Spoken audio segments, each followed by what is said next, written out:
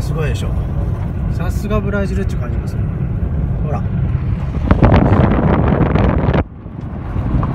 わ危ない。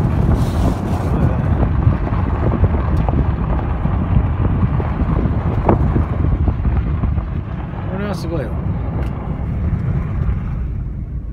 なかなか。もうね巡回とかしないからこういう道はあんまり行かないから僕僕自身でさえ珍しいというね。アルゼンチンパラグアイとか巡回してた時は結構こういう道行くんですよ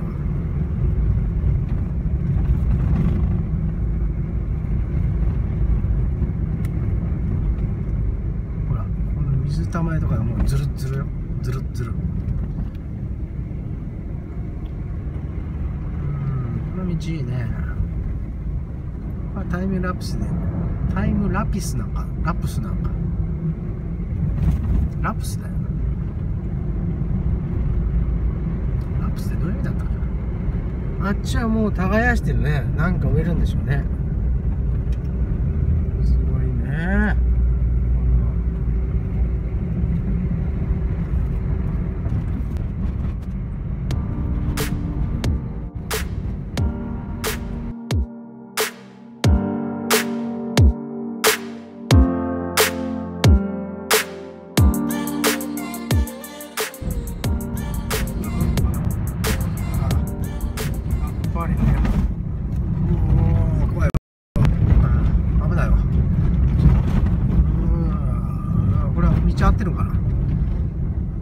ガソリンあるよね。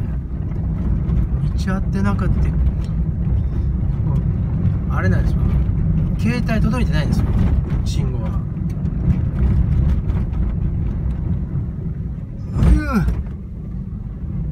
だけど GPS は届くのよね。それはありがたい。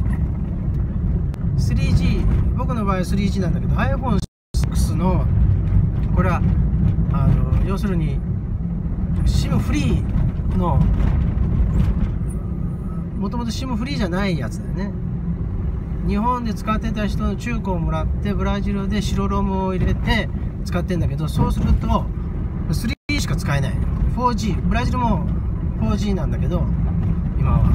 4G は使えない。もちろんこういう田舎来ると 3G どころか電波さえないっていうことなんですけど。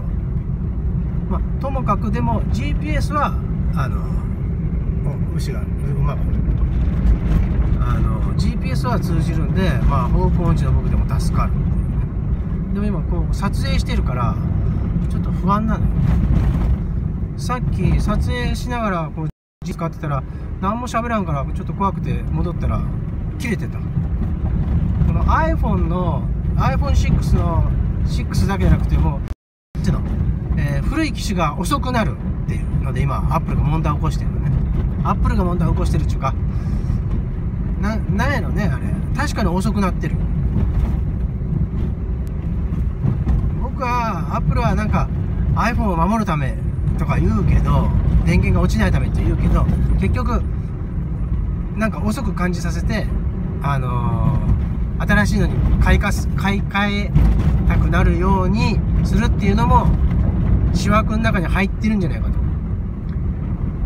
言い訳として守るためとか言ってるね。まあそのだから iPhone8 が出て10が出てでもまあ電池を交換したらまた速くなるっていうから電池交換するのにな8000円ぐらいだったかな、まあ、安くはないのよ。何せ、まあ、新しいの買うよりはいいけど。それでもいつも最新そうね。に変えた方がいいのかもしれない。今度 6S が入る予定で非常にワクワクしてます。できたら、え、1, 1月の中旬までには手に入ると。下旬下旬かな。予定です。そうしたらもう開封開封新品じゃないけど。そんな 6S の開封動画なんか誰も見ないと思うけどブラジルで SIM フリーにするとはどういうことかっていうのを交えつつこうやったら受けるんじゃないかなと思ってます。お高速見えてきた。ちょっと GPS に切り替えます。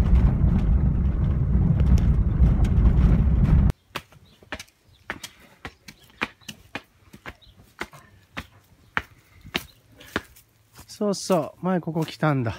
ここ来たね。ええええ。ああ、あれはでっかい牛だ。あ前いっぱいおった、おった。ねえ、ここにね、あ、あ、あれね、これ。ここに。草がなくてね、ええ広いとこにあ雨が降ってなかったから。あ、なるほど。うん。はい。はい。はい。誰かポニーは結構気をつけないと噛みつくよって言ってた。やっぱり凶暴なんですか、ちょっと。いやーこれは優しい。あ、そうですか。ああ。やっぱり人と一緒うん。でいろいろ。近くに行ったら逃げるけどね。ああの、今、喧嘩して足、足怪我してる。あ。あらまうん中入る？あ。いいですか？あ、ちょっとえー、っと、あ、あ入りやすいとこがあるかなうん。こんな格好だから。おっぱが。いやいやいや。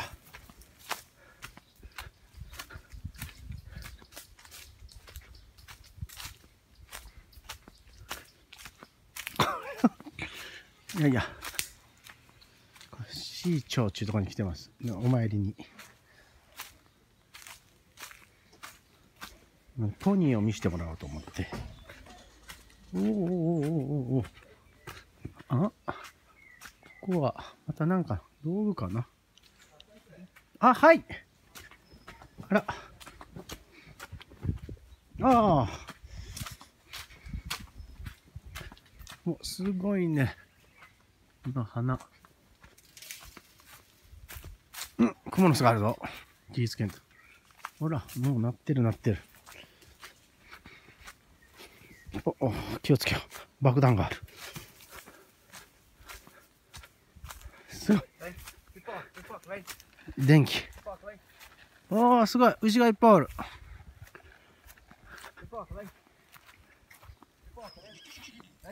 い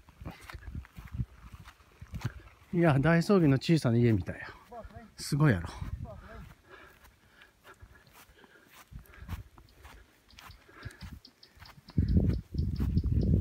いやいやいや、すごいね。おー、来た来た来た来た。あー、やっぱりちっちゃいな。トウモロコシ食べるんですね。あー、あの子はちょっと怪我してるんですか？あ、これ。え？この、あ、そうなんですか。うん、あーだなこ、ここ。枯れてるでしょ、ここ。あー、かわいそうにまあまあ。やっぱり喧嘩することもあるよね。うん。子供？まだ？あれ子供、みんな5ヶ月ぐらい。5ヶ月？ああ。いやいや。やっぱり髪が長いんですね。髪っていうか。ね長髪の。いや、いい音させて食べますね。コリコリコリコリ。いやいやいや。すごいね。あの牛はまた変わった牛ですね。ねうんえ。。水牛？あ水れ角がミニの中に入るけどね、あ、あれもミニですか。はい。いやー、すごいこれ肉、肉の白いやつ。白いやつはね、よく見ますよね。えー、いや、広いな。大変ですね、こんだけ広いと。そういやー、すごいいい天気や。うん、今日ええてんええいやーありがとうございます。やっぱ広々してますね。こういうとこ立ったの初めてかも。車で脇で見見ながら通ることはあっても、ーはいはいはいこういう場所に立つのは僕、ブラジル来て初めてかもしれません。ええやっぱ広いですね。ここはもう内山田ちっちゃい牧場ですよ。えっ、と、市長って言ってましたっけ？市長、市長。ねえ、うん市長でこんだけだから、ででも、あここら辺ず全部そうなんあー、ですか？ここ全部そうですよ。そううんそれあっち側だってそうです。あ、そうですか。それで市長なんだ。で、ファゼンダったら、あ、ファゼンダもっともっと広い。その倍ぐらいになるんですか？ああ、倍ど、い広場ありますよ。や、これでもう広い牧場だけどな。やっぱり、規模が違いますね、ブラジルは。ブラジルにしたら、日本にしたら大きいよ。えそうでしょうね。日本にしたら北海道の人とか、そういう大牧場の人じゃないでしょうか。ブラジルだったらまだその上牧場にしたらちっちゃい牧場そうですかいやいやいやすごいですね。気持ちいいな。うん。あ本当だ。お走ってる走ってる。いやーあんなに走るんだ。おーおーおたくさんある。ななんでやろみんななんかいいもんがあったんかな？ああー驚いてじゃあ一人が走ったらみんなが怖がって走るんですね。こっち見てる。普段と違う人がおるって思ってるかな。うん。みんなまだ若い感じしますね。そうでもないですか？若いまだ4歳ぐらい。ああ、うん。大体何歳ぐらいで出荷するんですか？これはあのーえー肉って言ってもオスだけやな。だメスは、はあはあ。うん、にまあ肉やけどええうちはそのこう馬馬馬さしてあの子供を。牛の子を売る。あそういう仕事なんですね、そう。肉を売るんじゃなくて。はあ。また。牛の子を売る。そういう。じゃあちょっと血糖症っていうかそういうやっぱりあるんでしょ？このあう馬みたいに、はいはいはい。このうん。あのなんていうかな。この種類の牛はとか、はい。同じ種類でもいいか悪いかとか、やっぱり元気で健康な方がいいんでしょうね。うん、これは今痩せてるけど、うん。今あの子牛をえ今あの売ったからええ。え今からまた太る。ああでだちちちちあの飲んどったらえやっぱり痩せてしまう。えうーん。子牛おったらな。あああそういうことなんです。自分たちの子供はう出ていったら痩せてしまうんですか？あちゃうちゃう。そういう意味じゃなくくて反対反対反対。あ。子牛あ乳飲むからええ。痩せてしまう。あ子牛が乳を飲むから養分を吸い取られて痩せてしまうと。あでもう出たばっかりで今から太って今から太る。あー。でまた子供を産む。そあー。一体何頭ぐらい産むんですうか？ここあここ100頭ああのい一人一つ一人一人違うか一頭の牛。が何頭ぐらい？一回一回です一回違うそのもう人生の中で。人生で？人生で。えー、10頭ぐらい。10頭か。じゃあそんなまめちゃくちゃ産むわけじゃないですね。犬や猫みたいうに、ん。ああここの中には何頭ぐらいいるんですか？ここ100頭。100頭、うおおすごい。んで10頭産むから1000頭？ええすすごいですね。ここ、うん、まだ今始まったばっかり。あそうですか。まだ 2, 2年ぐらい。2年ぐらいですか。その事業を始めて。ここ自体は何年でしたっけ？ずっと日本おられて帰ってきじいてちゃんの時。あほんじゃ古いですね。古い古い古い。ああお父さん。お父さんおじいちゃんお父さん。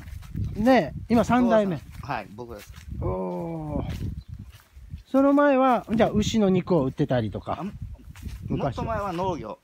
カフェとか。カフェ、えースイカ。スイカ？ピーナッツ。おお amendoim よく聞く、うわすごい竹が。あタケノコタケノコ取れます？それはあ いいですね。すごいわこの竹。立派や。妄想だけ？すごいあほんだここタケノコ生えてる。立派な。すごいすごい。これは見事やな。ちょっと違いますよね。太さが。本当の竹林っていう感じ。はあ。いやありがとうございます。この前あんまり歩けなかったんあーこの前ちょっと足が痛かったですね。で屋根から落ちてその次の日だったんです。あ それでもはあひどかったですけど。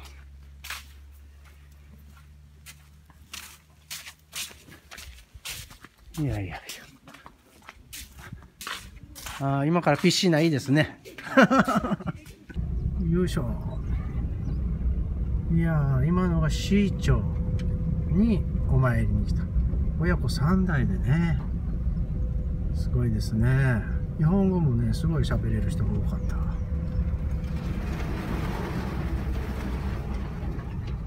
すごいよね。この見渡す限りが土地なんだけどまだちっちゃい方ですっていうそういう規模なんですよね。しかしまたここはすごい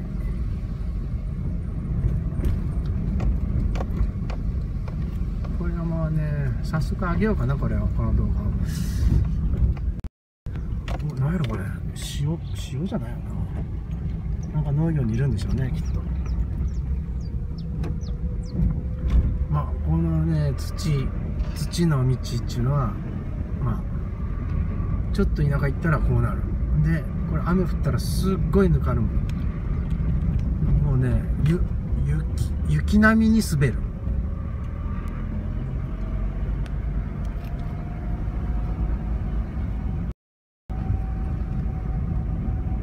いやーすごいね。まあブラジルならではの風景なんでこういうのいいんじゃないかな。もうちょっと撮ってこうタイムラプスみたいにしたらいいかな。あ、い。ました。ここにしよう。ね、ここにい。